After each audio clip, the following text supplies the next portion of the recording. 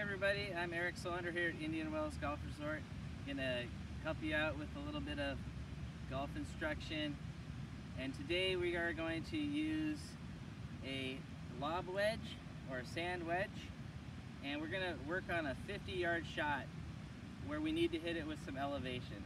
We're here at the 16th green at the Celebrity Course and a couple of different situations that you may come across. Uh, the first situation is a ball that's in the rough. The second one, I'm going to show you how to do it off the fairway. So one thing I really want you to know and one thing I want you to really practice and be aware of is understanding how the club's designed. So if we have this club, it's a sand wedge, you'll notice that with the club sitting very vertical, the leading edge is off the ground and this piece of the club, the sole of the club, or or is called the bounce, is resting on the ground. If we lean the shaft forward, you'll notice that there is the leading edge is on the ground. And you'll do that primarily when you're hitting a chip. But for this shot, we need to get the ball up. So a couple of keys to help you with this shot, a couple of really good tricks first one is if we're in the rough, it's actually a good situation. It's a lot easier to get the ball, get under the ball when we're on the rough. So if you happen to be in this situation, it's a good thing.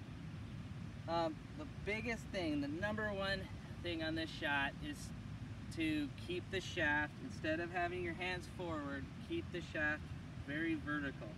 That's gonna help you get the ball up and allow you to get under the ball using the bounce. Let me show you. Set the club down, keep it very vertical, hands on, feet pretty close together, back and through. And that lets the ball get up into the air and over the hazard. On this particular shot, the fairway lie, this is where it gets a little bit more of a challenge. And we see a lot of times where we try to keep the uh, leading edge forward, where we got to hit the ball but if you notice what happens if we lean the club forward is it really can dig into the ground. And that is a issue when we're hitting off the fairway line. So watch what happens if I put the club back and do the same swing. You'll notice that it's, as I went down, it was really hard to make a divot. So that's using the bounce. So when you line up this shot, make sure that instead of having your hands forward, you have your hands very straight or the shaft very straight and then you go ahead and make your move. So hands straight, back, and And you'll notice that there's no divot. That's a really important thing to see. So the trick on this one, something that I want you to try on the practice green is to, and you'll see this sometimes, instead of having the shaft straight up and down, you know, over exaggerate it and have your hands actually start back. It's gonna feel a little bit weird, but it's a really good way to train your body and your mind to hit and use the bounce.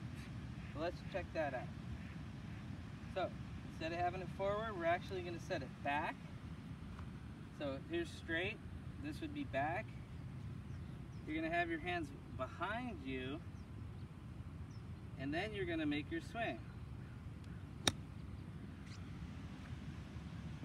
It feels a little bit weird, but it helps you get the ball up and off this fairway lie without digging the ground, the club into the ground.